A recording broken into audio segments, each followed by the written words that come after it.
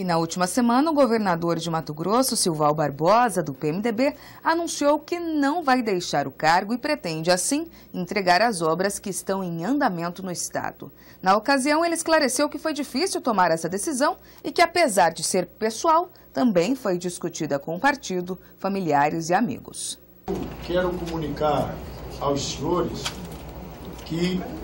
não vou disputar a eleição deste ano não vou participar do processo, participando como candidato do processo eleitoral deste ano. Tribunal de Justiça, Assembleia,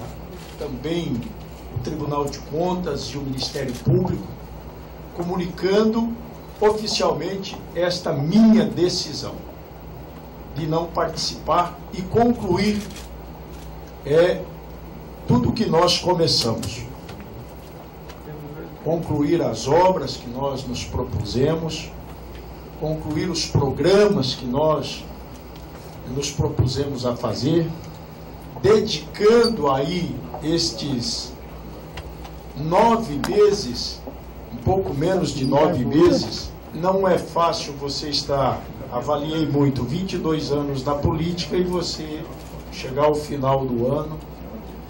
encerra-se por aqui acabou a missão, o que vai se fazer dali para frente? Venho conversando, conversei muito com a Roseli, ela já está numa nova adaptação para isso, porque as pessoas sofrem menos.